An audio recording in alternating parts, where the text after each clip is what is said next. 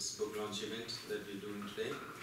Um, book is titled Unraveling Mysteries of Life, and I have the pleasure really of hosting this event because uh, the author, Ambassador Gauri Shankar Gupta, is a, is a, a learned colleague of mine in the Indian Foreign Service. So I've had the pleasure of knowing him for over 10 years now, and we were just recollecting some of the um, experiences that we've had in, in Beijing, where I was last posted. And Ambassador Gupta was ambassador to Mongolia at that time. Um, he spent over 35 years in the Indian Foreign Service. He was uh, India's ambassador to Mongolia, to Hungary, to uh, Trinidad and Tobago, and he's held several positions in, in Delhi. One thing I was not aware of was his interest in ancient wisdom, Vedic uh, philosophy, the ancient Indian philosophy, and, and modern science, as it were. And this is a very interesting subject that he's written a book about. And I, I do understand that uh, he's researching, uh, he's, he's in the middle of a research project in Budapest, and, uh, which is going to produce another book sometime later this year on environment. So, uh, without further introduction, I'd like to first uh, invite His Excellency uh, Mr. Y.K. Sinha, the High Commissioner of India, here, who's here with us to um, launch the book. I would like to invite uh, Ambassador Gupta and uh, His Excellency Mr. Y.K. Sinha both on stage to help launch the book.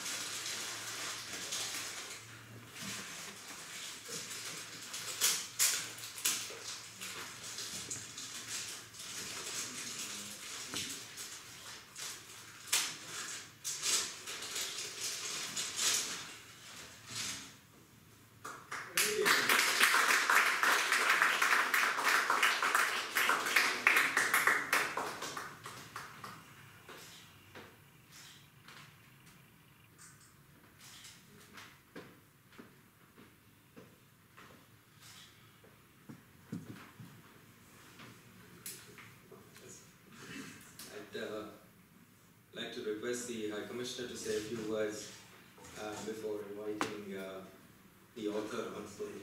Why don't you put some headphones? Hmm? Yeah, yeah. Just through the headphones now. I'll probably done with that. Uh, good evening, ladies and gentlemen. Maybe it's the Uh, I didn't realize uh, launching the book means unraveling the uh, wrapping paper. And, uh, uh, well, it's, it was easier than unraveling mysteries of life, I'm sure, because this is something far more profound. But uh, I'm delighted to be here and thank you for coming uh, because uh, for me it's not just an ordinary book release and normally I don't do too many of them given my schedule here, but this one we had planned for some time that I would definitely come because uh, Gauri and I, if I may call Ambassador Gauri Shankar Das Gupta, and, uh, Gauri Shankar Gupta and me, we joined the Foreign Service on the same day, 27th of August 1981. And we've had a, exciting journey since then. Of course, Gauri was older than me, so he retired before me. But um, he's not only a colleague and a batchmate in the Foreign Service, but a very dear friend. So I'm very happy that we could host this uh, book launch here at the Nehru Center. Um, Gauri, of course, as you've probably read about uh, him in his uh, biodata, his bioprofile, is a man of uh, talents, apart from being a very good diplomat, having represented the country in various places that Mr. Gotru referred to. Uh, he's also been someone who's an independent thinker, someone who has interests apart from just the day-to-day mundane uh, work, office work. And you can see from this book that uh, his knowledge also obviously uh, is, is, very profound. Uh, he has not only researched uh, and read on various subjects that uh, this book talks about, but also his interest itself in the fact that he is still doing research in Budapest on, on books and on, on, on subjects that uh, may sound esoteric, but I think they're extremely important. And I think this book, Unraveling Mysteries of Life, uh, basically compares what, and I will leave that to him to describe the book, but basically talks about the ancient wisdom that we seem to have lost, at least the majority. Most people are unaware uh, or uninterested, uh, disinterested in, in, in, that. But I think the, the fund of knowledge that we have, not just in India, but uh, all over the world, but certainly in India, is something that we need to rediscover. And uh, I'm passionate about history, and I've been talking it, uh, just the other day at the Illuminating uh, India exhibition that was launched at the Science Museum. I spoke about uh, the great achievements made by people in India, our ancients, as you call them, in the fields of medicine and mathematics. And I was very happy that uh, the museum actually sort of changed its uh, title of the exhibition to 5,000 Years of Science and Innovation uh, in India because when they were planning to launch it, they were limiting that work to 250, 300 years, obviously because they had um, uh, uh, artifacts and documents, etc., dating back those years. But I'm very happy that they managed to borrow from the Bodleian, for instance, the Bakhshali uh, manuscript, which is radiocarbon dated to 3rd century AD, which talks about, which has the zero for the first time that any uh, recorded evidence about the zero in any text. And of course, the concept of zero or shunya in India far preceded the 3rd century AD. But we'll wait for more evidence to prove that, because right now I think the rational mind wants proof.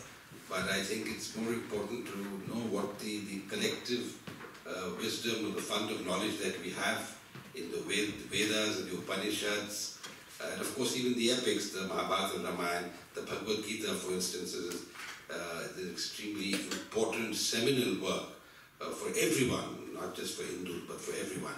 So I think um, when you explore the, the past, uh, you come across many myths and legends too, but sometimes you realize that these myths and legends are not really myths and legends, but they actually did happen. And I'm not talking about all the tall claims being made by all and sundry, but I'm talking about the, the, the wealth of knowledge. The Rig Vedas, for instance, have been translated. If you read them, the Upanishads, you will realize, realize how profound they are. And I think in many ways, uh, Gauri tries to uh, sort of deal with these subjects, whether it's the concept of dharma. I mean, the concept of dharma is as old, if not older, than the Bhagavad Gita, uh, but if more recently, well not more recently, it's about over 2,300 years or 200 years ago, uh, Emperor Ashoka wrote about, got these edicts that were the rock edicts, he talks about the uh, Dhamma principles, the, the, uh, the principles which were behind Buddhism, which were behind most religions actually. Uh, it was a way of life. And I think uh, the, the, the, way it is explained, I think for uh, people now to read about it, it's important because we need to rediscover, as I said, rediscover our roots. And I think we've lost our roots, especially in these advances of science, uh, more important than materialism and consumerism that we have in society today, that we uh, have forgotten how our ancients lived, not just the quality of life in terms of what they used, obviously the quality of life today in terms of uh, advances in science, medicine, uh, communication, we're even talking about doing things about artificial intelligence, robotics. We've made giant strides, and there's no doubt about that. But when you go back and see three, four, two, three thousand, four thousand years ago, how people lived, not just what they ate or what instruments they used to hunt or, uh, or fight, uh, because you know we've obviously advanced far beyond that.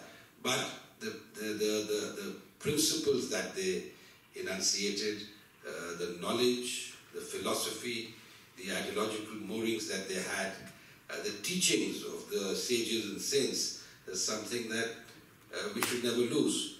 And I think uh, in this book, Gauri has uh, tried to bridge that uh, by talking about, by referring to our ancient wisdom and to, of course, the great strides made in the modern era on, on, uh, by science and, and, and, and, medicine and others. But we still have our own ancient uh, forms of medicine which are suddenly becoming popular. For instance, who would think 10 years ago, and I know that uh, I lived in the US, so even 15, 16 years ago, I knew how popular yoga was uh, in the US. But then to bring it internationally, uh, you see how yoga is being celebrated. Um, of course, we, we were greatly helped by uh, UN resolution that sort of uh, declared 21st of June as the International Day of Yoga. But see the enthusiasm that the way this has been practiced and the way it's being uh, sort of um, uh, advertised, if I may use that word, throughout the globe, whether it's Beijing in China, whether it's New York, whether it's London, uh, whether it's in Africa or, in the Middle East or, or, in Latin America. The popularity of yoga is something uh, that we are very happy that this is something that India gave the world. It's not religious, it is just a way of life. It's a way of life that people are choosing to adopt um, increasingly. So it's, it's, it's things like yoga or Ayurveda or even some of the other uh, forms of medicine, Unani or homeopathy, etc., that are being now revived as alternative medicine and something that people are increasingly uh, uh, looking to, to find cures. Uh, not that allopathy people have abandoned, a lot of people, in fact, majority do, and I think it's important that we don't abandon anything, but take the good uh, things from each form of medicine, and I'm just confining myself to medicine here. But whether it's astronomy, whether it's mathematics, the ancients obviously had a great deal of knowledge. I mean, we seem to have lost it and now we're rediscovering it. Take, for instance, the pyramids. I mean, the structure like the pyramids was constructed, the Giza pyramids, uh, when about 3rd, 3rd century BCE. Uh, it was phenomenal, uh, the, the, way it has been constructed. We don't have a building like that even in the modern era. We have great big uh, skyscrapers, but something of that uh, sort of magnitude and ex that exactitude is something that's truly amazing. So I think uh, this book really talks about this, about um, developments in the modern era and of course our ancient wisdom, which we shouldn't forget. And of course it brings us back to the eternal question, who are we? Uh, what are we? What is our purpose of our existence? Who created the universe? Uh, who created the creator? Etc. So I think these are very profound questions and I'm sure um, Gauri will explain it in greater detail and I'm sure you will enjoy reading the book. And I must confess I have read the synopsis and excerpts and glanced through the book, but not uh, read it fully. And I do hope that when I go back, I'll find time to read the whole book because it promises to be very uh, fascinating.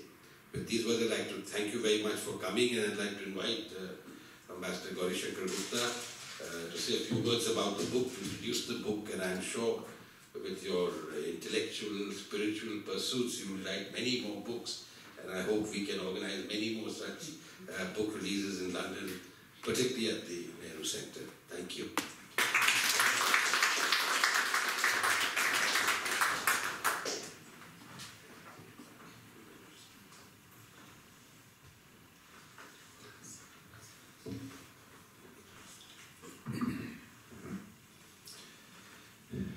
Thank you very much. First of all, your Excellency Yash Sinha, my colleague, my friend, his spouse, Mrs. Girija Sinha, director of the Nehru Center, Mr. Srinivas Gotru, the deputy director, Vibha, and uh, we have other colleagues from the center who are working with us, Archana. I'm grateful to Yash and Girija for making it possible for me to be here this afternoon. It was because of his support that this journey to London became possible and this event today became possible in the Nehru Center. And I'm grateful to the director and other members of the center for organizing the logistics and other parts of this event in a very prof- professional manner. Thank you very much. I'm also very happy to see in the audience one of my very dear colleague, Alan Race, with whom I have been in touch for the last, uh, I think, four years now. And he has been kind enough to accept some of my articles for his prestigious journal called Interreligious Insight. He is also the chair of uh, what you call World Congress of Faiths. Uh, he's, I'm very happy that he could make it. And uh, the you know, important journalists who are present here and other distinguished members who are here. I don't know all of you, but I'm sure all of you are very, very distinguished. I'm grateful to you for your presence today. Now, if we talk about the book, the title is a little bit ambitious, and that is what the president of Hungary asked me can you really re- reveal the mystery of life? So I told him that, uh, uh, Excellency, I don't do it. It has already been done by our wise ancestors. What I'm doing is just to put it together again. So I would deal very briefly on uh, the mysteries of life and how we can actually reveal the mysteries uh, without going into too many details. It's a very simple process, and I think you would finally uh, agree with me. Now, if we look at this universe, universe is a huge infinite entity. The science says today that only 4% of the universe is observable because 96% is beyond sun range and therefore they cannot observe.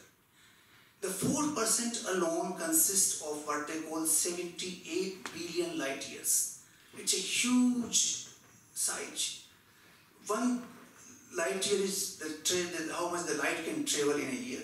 In one second, light travels approximately 300,000 kilometers. So we can imagine the, the distances involved. There are millions of galaxies, trillions of stars, uh, maybe trillions of planets. Even in our own galaxy, there are 400 million stars in our own galaxy. It is one of the galaxies out of millions of galaxies. So can we really understand this? Despite all that, the sun rises precisely on time, the sun sets precisely on time, the moon comes and has its phases absolutely.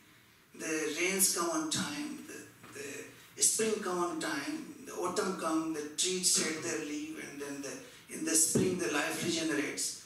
Uh, all this happens in a very, very precise mathematical way. Similarly, look at the, the living creatures, not only the human beings, but there are millions of species of life. They reproduce themselves. They are designed in such a way that they can protect and you know, you know, save themselves for their own safety. Even in our own body, there are approximately more than a trillion cells, and millions of them die every year. In the human body, the, the blood runs approximately 100,000 kilometers a day. So these are all magnificent facets. These, uh, these are beyond our conception. How can we understand them? Now, the scientific way of to understand them is to produce physical evidence, to understand physically and produce physical evidence. How many stars can you travel? How many galaxies can you travel in your lifetime? You cannot do this physically. It is impossible. In fact, the counting of planets in our own solar system has changed. The, the theories of science have been changing over time. About the origin of universe, they talk about what we call Big Bang theory. Now, Big Bang theory says that there was a cosmic pool of energy at one stage, which somehow exploded and the whole universe was formed. Where did this cosmic pool come from? Nobody knows. How it exploded, nobody knows. How it expanded into galaxies, stars, and planets, nobody knows. Moreover, uh, how the matter, because the, the, the energy doesn't have what we call weight and mass. It, it is absolutely without mass, weight and mass like the sun rays. How the weight and mass come, into being? There are scientists, Higgs particles as we call them, they were awarded Nobel Prize in 2012. They are discovering how from photon the mass and weight came into being and they have not been able to give any concrete explanation yet. So these are some of the, uh, you know, just to give you an idea, because every species of life, if you look at flowers, if you look at plants, if you look at birds, everything is so sophisticated and very precise. So the this universe is not without a science. It's a perfect mathematics which goes into it. Otherwise, the stars can collapse and you know planets can be devastated overnight. In order to understand these mysteries, in Sanskrit we call it Tattva that is the fundamental knowledge we have to understand. So these are fundamentals which are given in the Greek philosophy and the Vedanta. So in the book I have put these two fundamentals to explain how we can learn this. In briefly, I will tell you there are four five presumptions which we should understand to understand the mysteries of life. These are very complicated. The first presumption is that entire diversity originates from unity. Unity is the center, diversity is the expression. Now, if we take, for example, all the clothes we wear, cotton is the center, we can design millions of varieties. From the gold, you can design trillions of varieties of uh, ornaments. From steel, the same thing. So, the, if you look at ultimately, if you go backward journey of those things, you will find that there is one single center from where the diversity develops. The second important point to understand is that when the things become smaller and smaller, in Sanskrit they call it suksham, then they become more and more powerful. Today science has also accepted this because when you break the atom, it becomes more and more powerful. Now, let me give one example to explain this. Now, food is gross. It is very essential for us to live. Without food, we cannot survive. But people can live without food for 60 days, 50 days, 30 days. What about water, which is more subtle than food? You can live for 5 days, 6 days. and what about air, which becomes even more subtle, which you can't even you know, touch, you can't even see? And how many minutes? So from days we come down to minutes. So when the things become smaller and smaller, they become more and more powerful. This is another basic fundamental truth of the nature. The third is that when the th things become smaller and smaller, they actually become unintelligible, they become insensible. Our sense organs cannot grasp them. It goes beyond them. Let me give you an example. For example, time. Now, time, we talk about time all the time, but where is time? Can we smell it? Can we touch it? Can we see it? It doesn't exist anywhere. If the day and night comes and sun comes and sun goes, it's only the counting of the time. In fact, sun will also be destroyed with time after, after its age is over. So the time is completely insensible, but it defines every sensible object in this universe. It defines my life, your life, it defines this auditorium, and everything helplessly grows with time and destroyed with time. We will be destroyed with time, this building will be destroyed with time, even empires are destroyed with time. Look at this insensible uh, time which defines everything else. So this is the third uh, principle which we must understand. This is also unintelligible. Now certain things, intellect is a very profound word and we all try to defend intellectual power. But intellectual fails beyond a point. For example, we have great minds in this world and they have done a lot of research. But till today, even those great minds could not tell us whether a man was born first or a woman was born first. Can you intellectually uh, express uh, or explain this particular phenomenon? Can you explain whether the egg was born first or the chicken was born first? Our intellectual fails beyond a point.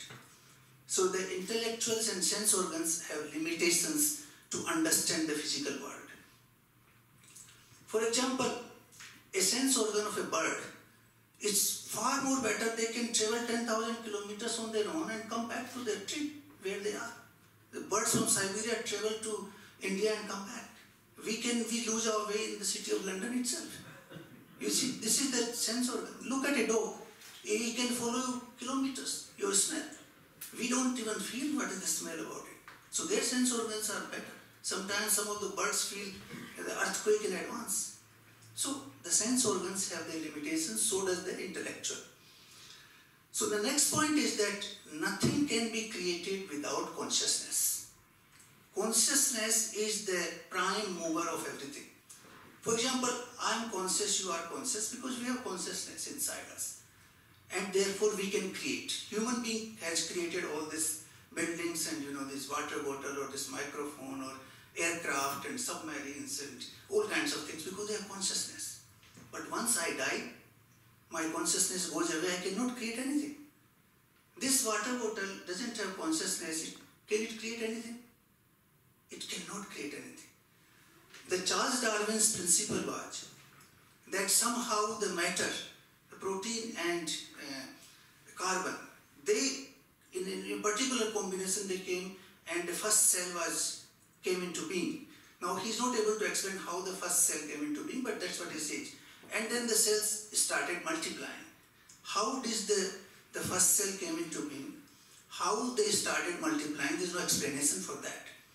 Because in this world, I do not find a single example where uh, without consciousness something can be created. It's not possible. And this is what Vedanta and the Greek philosophy says that there was a universal consciousness in the beginning. There was nothing but universal consciousness. And that universal consciousness decided to create something. And then the whole creation followed. This mathematics of creation, which is so precise, cannot be without great mind. It has to be a great, great mind. I don't want to go uh, more into details today, but I would like to uh, stop my brief conversation on this with this Sanskrit sloka, which actually defines the creation, which is the foundation of creation. This appears in many Upanishads, in Isavasya and Shvetasvatara Upanishad, definitely. And it reads like this Om Purnmadah Purnmidam Purnat Purnmudachyate Purnasya Purnmadaya Purnmeva Vashishyate. Here the word Purn is very, very important. Purn means complete in every respect. For example, we have 7.4 billion people in this world today. All of them put together do not are not complete. Somebody is a great musician, somebody is a great player, somebody is a great writer, somebody is a great diplomat, somebody is a great uh, technician, but there will be more people coming in the future. There were more people in the past. Even that does not make it complete. And not only that, there are other species of life. So everything put together has to be complete, which you can, whatever you can imagine or whatever you happened in the past and will happen, that totality is complete.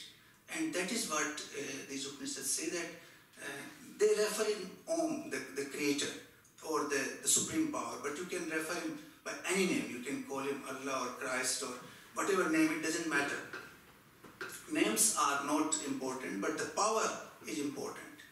So that power each has, he's complete in every respect, he can create anything.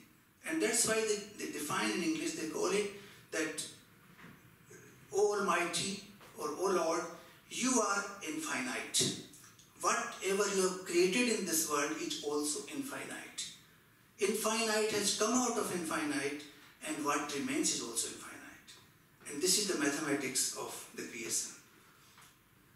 Now, High Commissioner mentioned about the time, the zero. That actually reminds me that in Vedanta, the you know the life of Brahma has been decided, has been defined as 311 trillion and 40 billion years. That is the life of Brahma. It's unbelievable. The Indian scriptures always said that life of earth, that is we call yuga, is 4.32 uh, billion years. The modern science initially said it was only 6,000 years, but now they believe that the earth is 4.3 billion years. So these are things which will change. The science has changed over time. Science will continue to change because our knowledge through the sense organs is not complete. It can never be complete. Uh, we can't even, you know, define one painting. If we have to define, everybody will give a different opinion about the same painting. So our knowledge is not perfect. It cannot be perfect.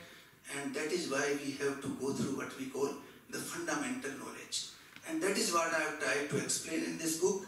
The first part of the book deals with the what you call micro part, the universe, and the second part deals with the individual, that is the self. Who am I, and how can I be happy?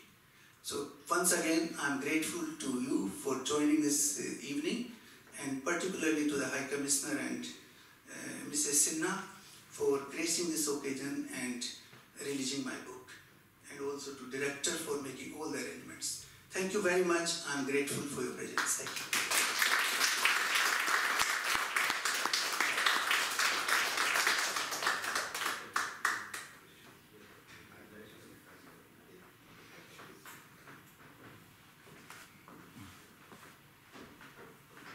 Thank you, Ambassador Gupta. That was uh, that was quite profound.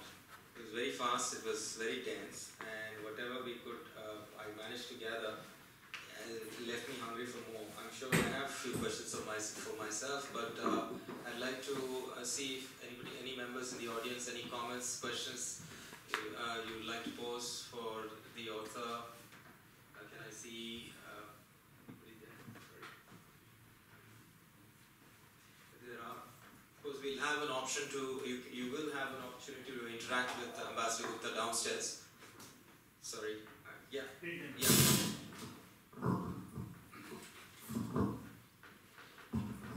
Uh, welcome, uh, Gupta ji. My name is Jayesh Patel, Friends of India Society. Uh, this, this topic is dear to all Indians, I think, currently. Are you aware of uh, C.K. Raju's works on this matter? The mathematician. Uh, I have actually not read that fully, but I am aware of his work. Uh, I had uh, read the what you call a short summary of his works in the past, but I it gives me a chance to read them again because it's a, learning is a lifelong process, and I'll continue to learn from other writers who have done this kind of work.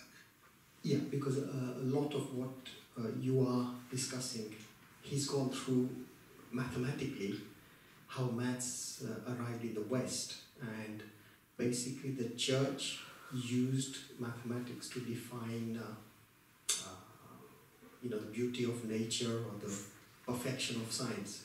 But uh, C.K. Raju again argues against that concept, and it's uh, very well worth looking into. Thank you. The universe is a precise mathematics. Without that, it cannot exist. And why do we have five fingers in our hand? It's also mathematics. If I have time, I'll explain that to you. Why not six? Or why only five? How long it took you to collect all the material for the book? You see, such, such, such work cannot be done through collection all the time. It comes also through inspiration. So I can say I have been taking interest in this subject very intensely since 2007. And then book I wrote in 2012. So you can say five, five, six years of work before that. But actual writing was about 10 months. But I write articles now. I'm working on some other books on the same subject. In fact, uh, Alan, who is here, he has published some of my articles on similar issues. You had great difficulty in finding a publisher. Uh, yes, it was very difficult. I wrote to three publishers in India, and they said they cannot evaluate it, and they returned it. And finally, you know, when uh, some inspiration comes, also somebody helps you in this process. So that's how it worked.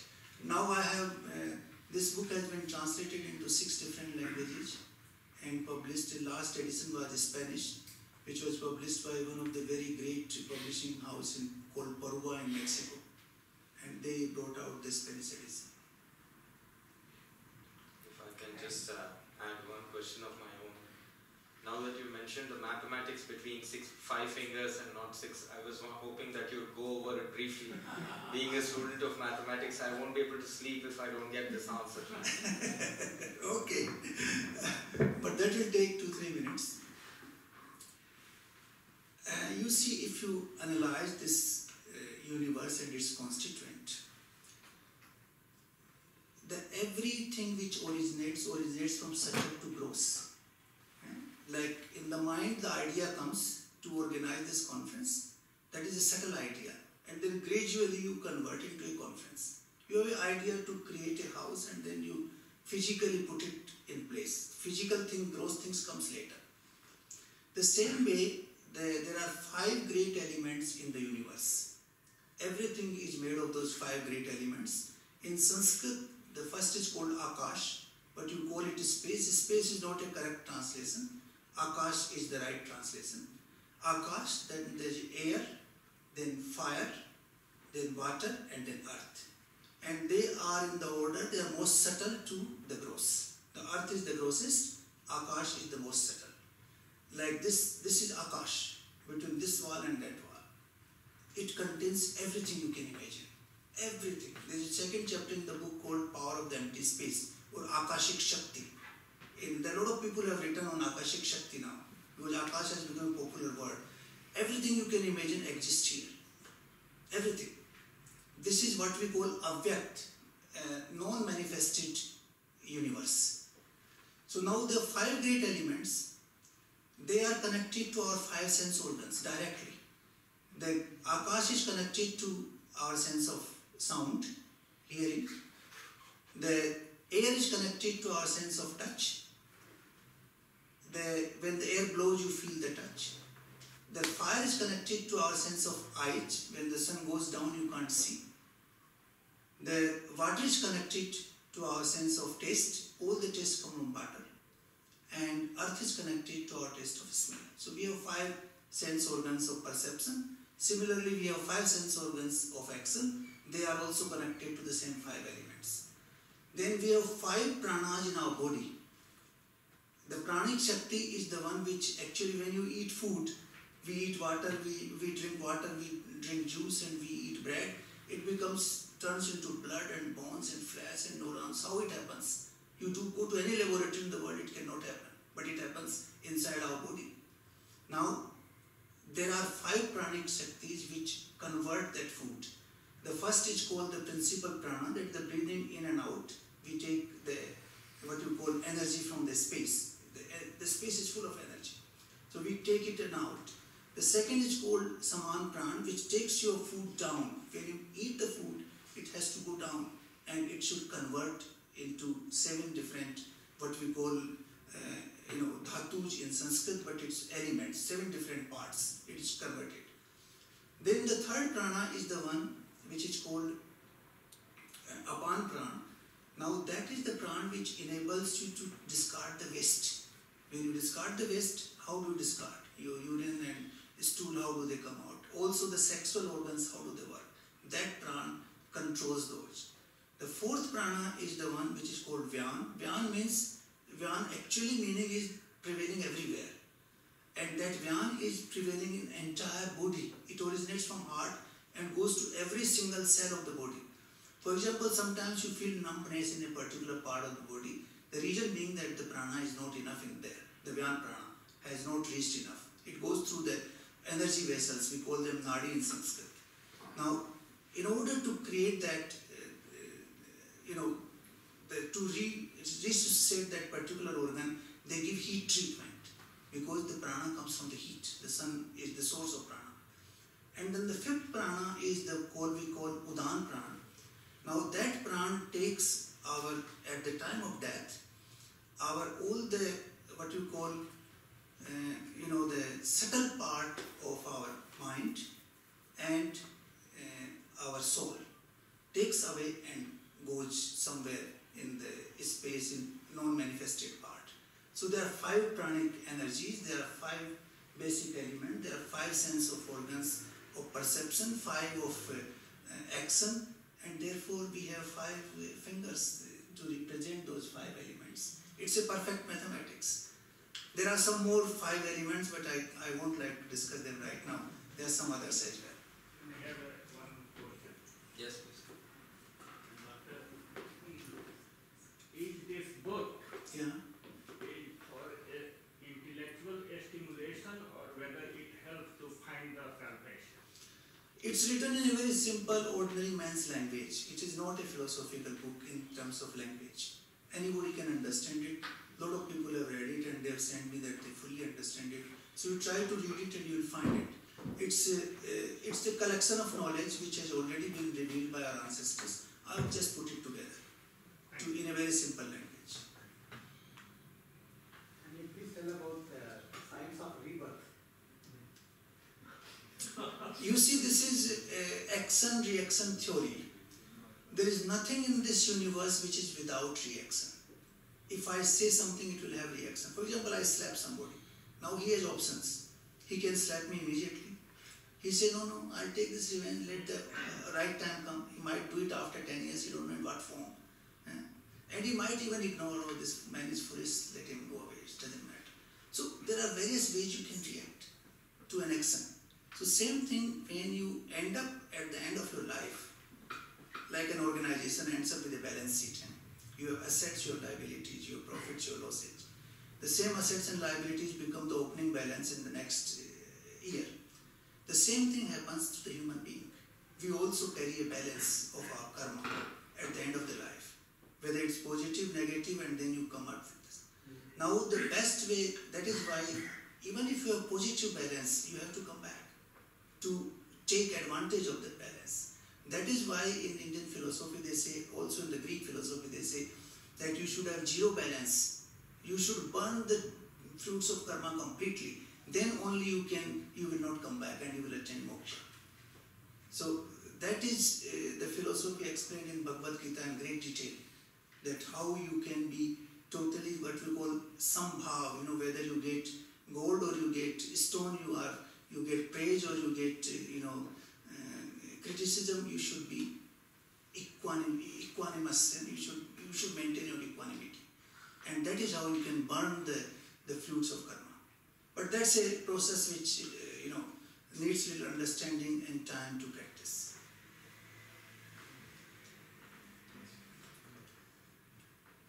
Uh, Thank you, first of all, for mentioning uh, my friendship with you through my journal, Interreligious Insight, uh, and we've been very pleased to receive your articles. It's quite clear to me tonight that your kind of grasp and range of knowledge of ancient wisdom is considerable, and putting that in relation to scientific developments is no simple matter. Uh, I've got a, in a way, a kind of fundamental question, I think. Uh, my journal interest is in relation to, as you know, interreligious studies and interreligious philosophies and so on. Um, and one uh, question that repeats itself a lot is, you know, is there a, uh, a clash or some kind of res- resolution possible uh, between what you might think of as a fundamental dualist kind of position, which has been a Western philosophy mostly, uh, of you know, creation, creator over against created life. Um, on the one hand, and then on the other hand, the non-dual philosophies, essentially from the East and uh, Indian origins. Uh, that discussion in relation to what we now know through science and cosmology, the Big Bang, which you mentioned, uh, and so on. Are, are these philosophies fundamentally in conflict, or are they just in a kind of tension which we live with and learn from uh, for now and for the future? You see where I'm coming from here? Okay, I uh, I understand that fully because you see, in Western philosophy, we feel that the God is sitting here and He is creating and controlling everything. He is rewarding and Well, You know, punishing people. you know, then the question arises that you know why does He punish? Why does He reward? What kind of instrument usage? He who created Him? Then, if somebody created him, who created that other creator? So that goes back in time again and again. There's no answer to that. Uh, in Vedanta, it is not the case. As I explained in my article on defining God, actually, there's a word in, in Sanskrit called Brahman. Brahma is the word which has been used for this entire universe, uh, universal consciousness in, in Vedanta. The, it comes from a root, Sanskrit root called Briya. Briya means which can expand infinitely. So the meaning of Brahm is that Brahm has expanded infinitely into this universe. And he exists in every single particle of this universe. There is no particle in this universe which does not exist, does not have the, the what you call consciousness. I was talking about this, it doesn't have consciousness, but there are five levels of consciousness also. Again, The, the first, they are called five, what we call them, uh, mineral regime, plant regime, animal regime, human regime, and universal consciousness. Now, in the mineral regime, the consciousness is the least. It, it cannot manifest itself in proper way. In plant regime, it manifests little bit.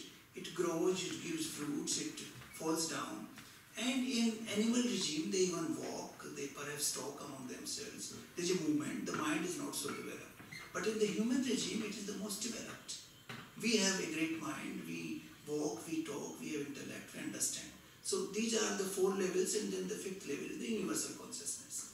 So in the Vedanta as well as the ancient Greek philosophy, they feel that the entire universe is the reflection or expansion of the Almighty. And if we start realizing that, then we will not distinguish uh, or we will not punish or you know uh, reward anybody because the, everything is divine. Everything is divine here. I was asking one question to one of my friends when I was in Sarajevo once. Why do you confine God to this mosque? Or why do you confine God to this church? This whole universe is his temple. If you confine him to a man-made uh, structure, then he cannot be good. He cannot be uh, the Almighty. His power is, you are reducing his power completely and defining it within this structure. He, the whole universe is his temple. And that is what Vedanta believes. So there is one single entity. Ultimately, if you go backward, you will discover that there is only one single consciousness which gives birth to everything else. I was talking about this space, for example. Now, today we have instruments to understand that how powerful it is to some extent. For example, you have Wi-Fi internet. Now, how do I access the entire world here on this? Because it exists in these uh, molecules here. Otherwise, you cannot access it. All the sounds which you can